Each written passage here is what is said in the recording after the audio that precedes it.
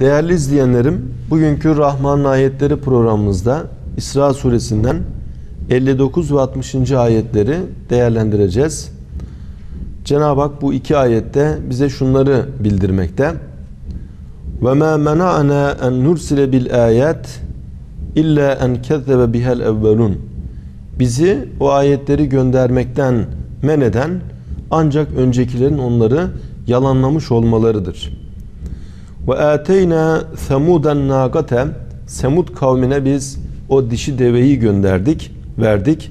Mupsiraten apaçık bir ayet olarak, gözleri açan bir ayet olarak fezzalemu biha ama o deve sebebiyle onlar zulme maruz kaldılar. Yani zulme düştüler. Ve ma nursilu bil ayati illa tahvife. Ve biz zaten ayetleri ancak insanları uyarmak, korkutmak için göndeririz. Değerli izleyenlerim bu ayette Allahu Teala'nın bir takım ayetler göndermesine dikkat çekiliyor. Burada bir takım ayetler derken mesela peygamberlere verilen mucizeler bunlar da ayet kelimesiyle ifade edilir.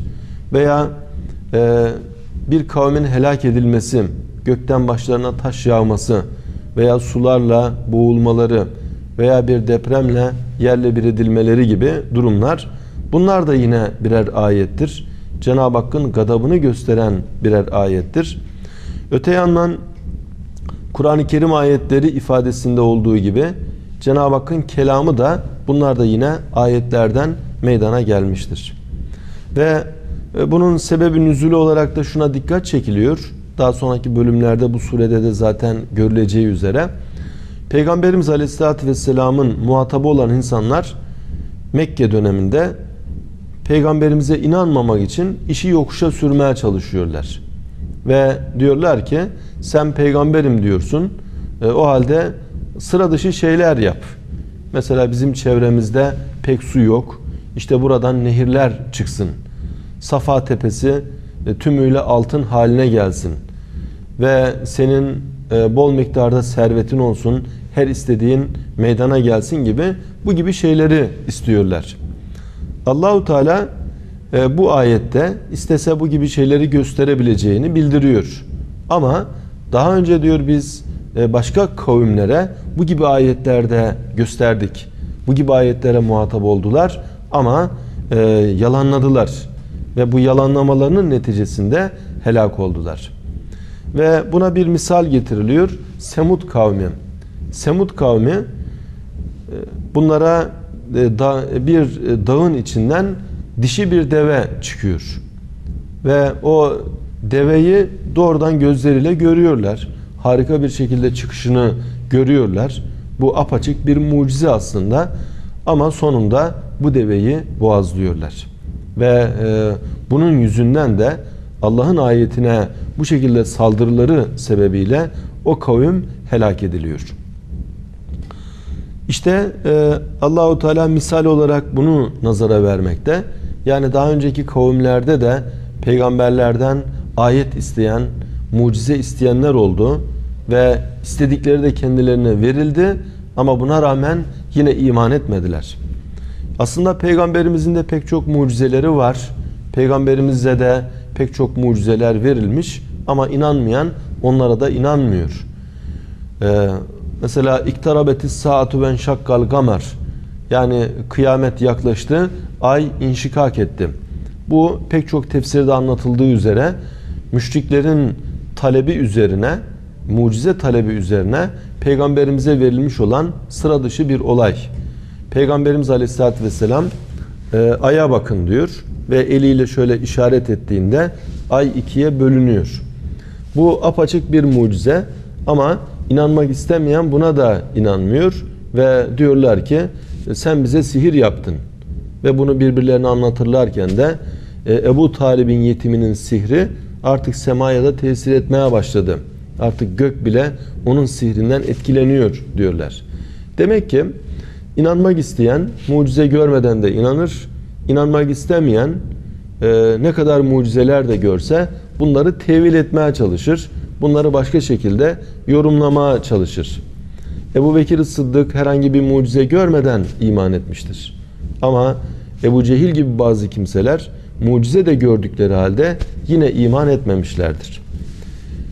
وَمَا نُرْسِلُ بِالْآيَاتِ illa tahvife Biz ayetleri ancak korkutmak üzere göndeririz. Yani aman ha dikkat edin bu anlamda göndeririz. Ve iz gulna leke biz sana şöyle demiştik. İnne rabbeke ehata bin nas Rabbin insanları ihata etti. Rabbin insanları kuşattı. Ve ma cealna rü'ya elleti eraynake sana gösterdiğimiz rüyayı, rüyeti de e, illa fitneten linnâsi ancak insanlara bir fitne, bir imtihan kıldık. Ve şeceratel mel'unete fil Kur'an Kur'an'da bildirilen o mel'un ağacı da lanetlenmiş ağacı da yine bir fitne kıldık. Nuhavvifuhum biz onları bu şekilde korkutuyoruz. Fema yeziduhum illa tuyanen kebira ama bu gibi durumlar onların o büyük tuyanlarını daha da artırıyor. Yani tuyanlarını daha büyük hale getiriyor. Azgınlıklarını daha da artırıyor. Burada Miraç olayına bir işaret var. Peygamberimiz Aleyhisselatü Vesselam Miraç dönüşünde gördüklerini anlatıyor. Ve gördükleri arasında cennet ve cehennem de var. Ve cehennemde gördükleri arasında bir ağaç da var. Ve o ağaçtan da bahsediyor. Zakkum denilen o ağaçtan da bahsediyor. Ama e, Ebu Cehil gibiler bunu alay konusu yapıyorlar. Ve kendi aralarında konuşurlarken diyorlar ki yani şu Muhammed'in dediklerine bakın. Hem cehennemin ateşle dolu olduğunu söylüyor hem de o cehennemde zakkum denilen bir ağaçtan söz ediyor.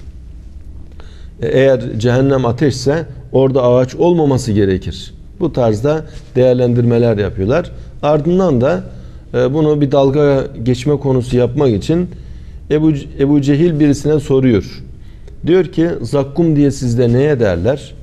O da diyor ki zakkum diye bizde e, bal ve tereyağına derler. Bunun üzerine Ebu Cehil diyor ki cariyesine haydi diyor bize bal ve tereyağı getir bizi zakkumlandır. Ve e, geldiği zaman tereyağı ve bal geldiğinde Ebu Cehil bunu oradakilere ikram ediyor. Bir yandan da e, o zakkum kelimesini kullanarak haydi zakkumlanın bakayım gibi bir ifade kullanıyor. Ve böyle gülüyorlar, eğleniyorlar. Peygamberimizin haber verdiği şeyleri istihza konusu yapıyorlar. Demek ki e, inanmak istemeyenler bu gibi noktalarda gerçekten inkarı esas alıyor ve inanabileceği halde gözünü adeta kapayarak e, inkar etme cihetini tercih ediyorlar. Gözünü kapayan bir kimseye bir şey gösteremezsiniz. Kulağını tıkayan bir kimseye bir ses duyuramazsınız. Yine ayette Peygamberimiz Aleyhisselatü Vesselam'a e, bir rüyetten söz ediliyor. Yani Peygamberimizin e, Miraç'ta bir takım sırlara mazhar olması ve bir kısım şeylerin Peygamberimize gösterilmesi. Miraç ile ilgili ayette innehu huves semiul basir ifadesi var. O gerçekten semidir ve basirdir. Yani Allahu Teala gerçekten her şeyi gören ve her sesi işitendir. Ve bunun bir tecellisi olarak miraca masar kılmış olduğu peygamberimizi de miraç olayında adeta tümüyle bir göz, tümüyle bir kulak gibi yapıyor. Ve böylece Peygamberimiz Aleyhisselatü Vesselam Miraç'ta çok şeyleri görüyor, çok sesleri duyuyor.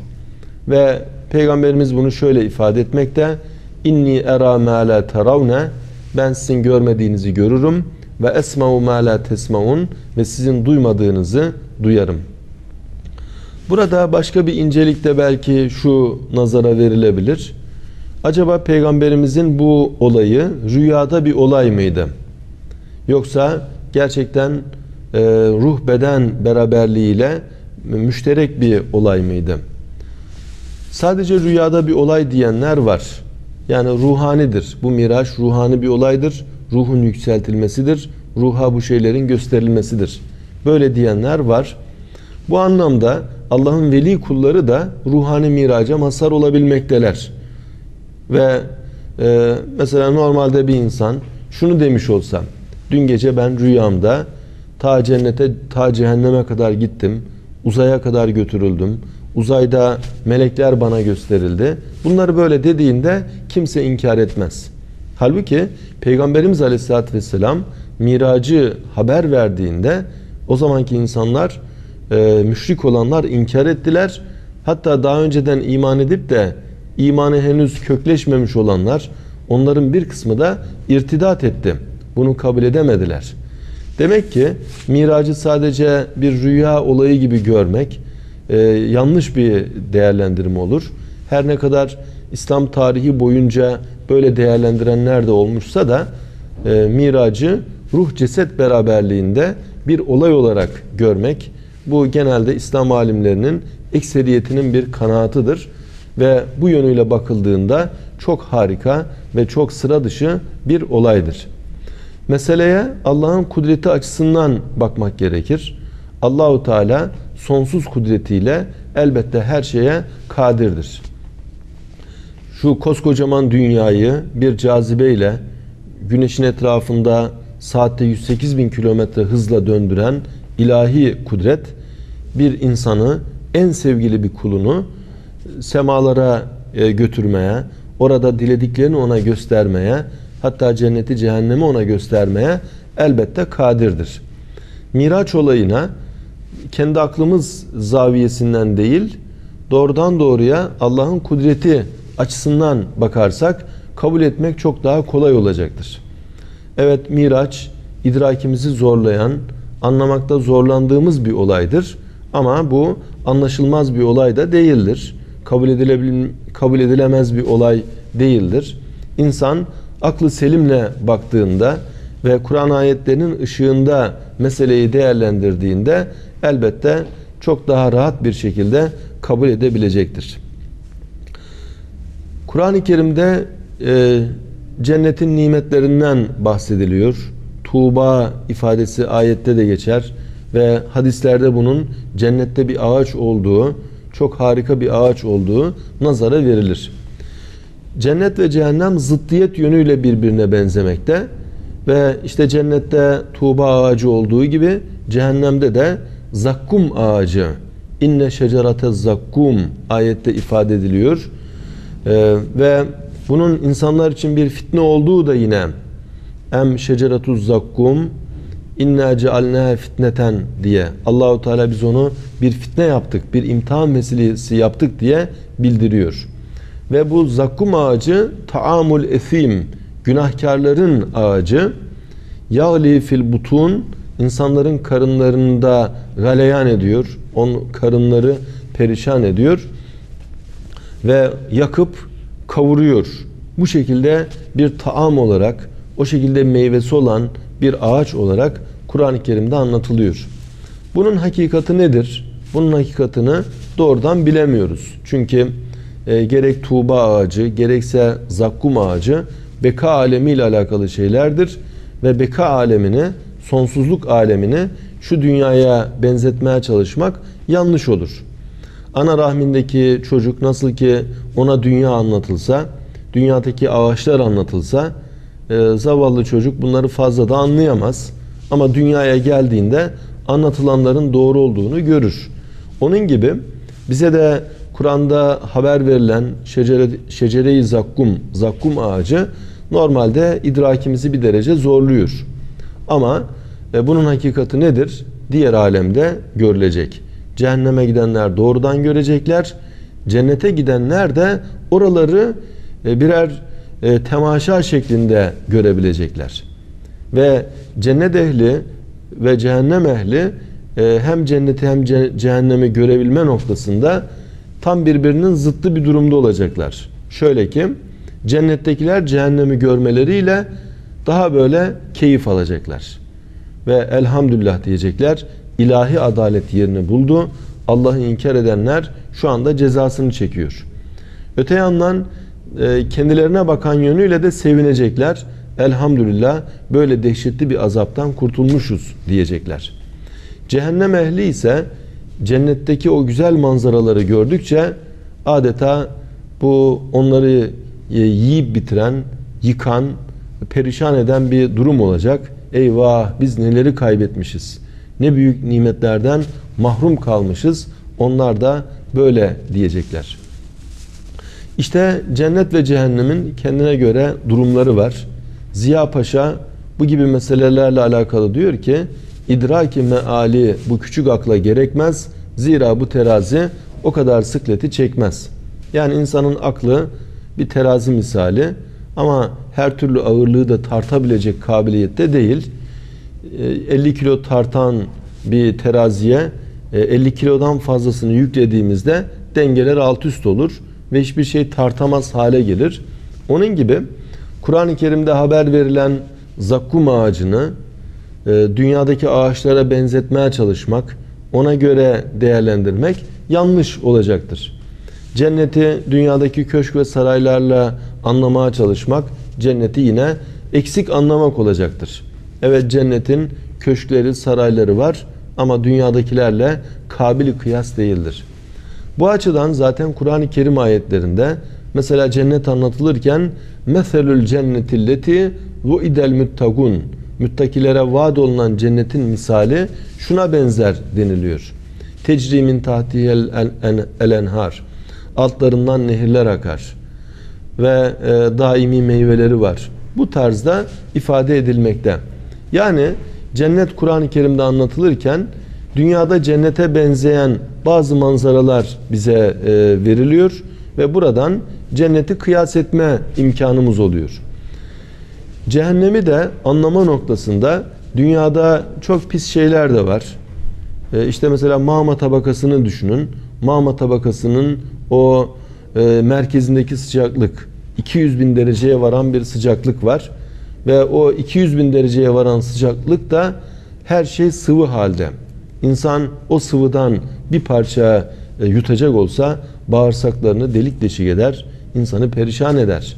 İşte cehennemin yiyeceklerinin de bunun gibi olduğu, günahkarların yiyeceğinin nahoş pis şeyler olduğu ayet-i kerimelerde ifade ediliyor. Demek ki cennet ve cehennem iki havuz gibi. Dünyada iki ayrı nehir oraya doğru akmakta. Bütün güzellikler cennete doğru akıyor ve bütün pislikler, bütün kötü, çirkin şeyler bunlar da cehenneme doğru akıyor. Cenab-ı Hak hepimizi cehennemden uzak ve cennetine mazhar kıldığı bahtiyarlardan eylesin. Bir başka programımızda tekrar beraber olmak ümidiyle hepinize hayırlı günler, hayırlı geceler diliyorum.